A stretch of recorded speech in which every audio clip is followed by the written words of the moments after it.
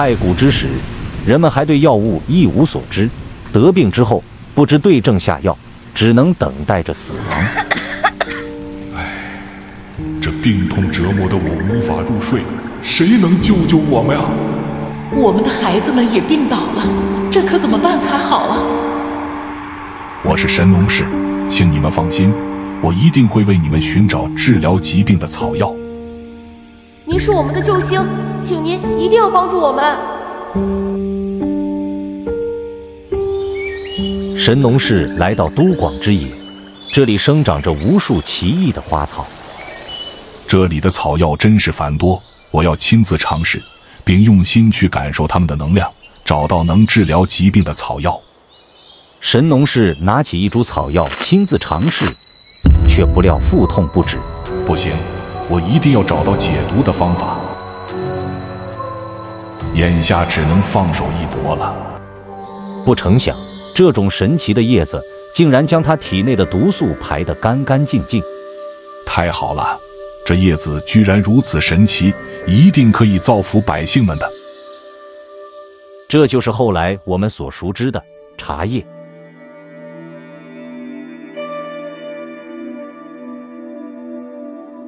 那就是传说中的剑木吧？它连接着天地的花园，我一定要去那里看看。这里可真美，竟有这么多奇异的花草。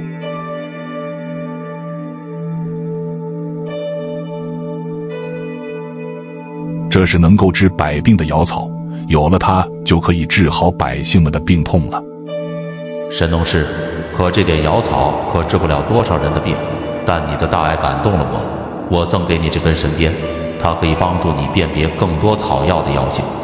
谢谢天帝，我会用这根神鞭为黎民百姓带来福祉的。神农氏拿着神鞭，从都广之野走向更远处，他一路拿着鞭子，鞭打着花草。了解它们的药性。这天，他发现了一株特殊的植物，就是后来我们熟知的中药青蒿。这种植物的叶片散发着淡淡的清香，或许是清热解毒的良药。我要将它带回去。神农氏将青蒿绞取出汁，分发给村民们服用，村民们的病情逐渐好转。这些草药真的有效。谢谢您，您给了我们新的希望。这是我的责任，我会继续找到更多的草药，为百姓带来福祉。这天，神农氏发现了一株植物，它的样子很奇怪，就采了一些叶子放在嘴里咀嚼着。可这却是夺人性命的断肠草。难道我要离开人世了吗？不知道子孙后代们是否有足够的草药来应对疾病？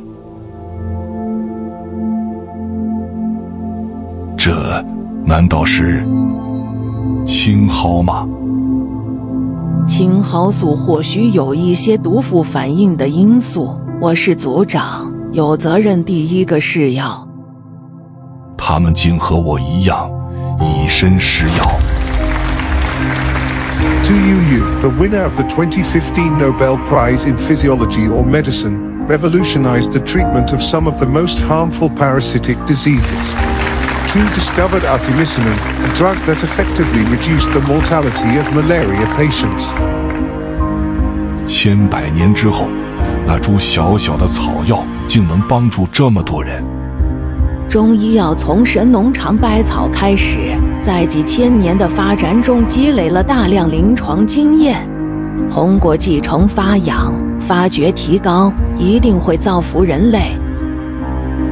草木之中蕴藏着无尽的宝藏，无常百草寻找良药，以希望后人能够继续探索，为天下苍生带来希望和安康。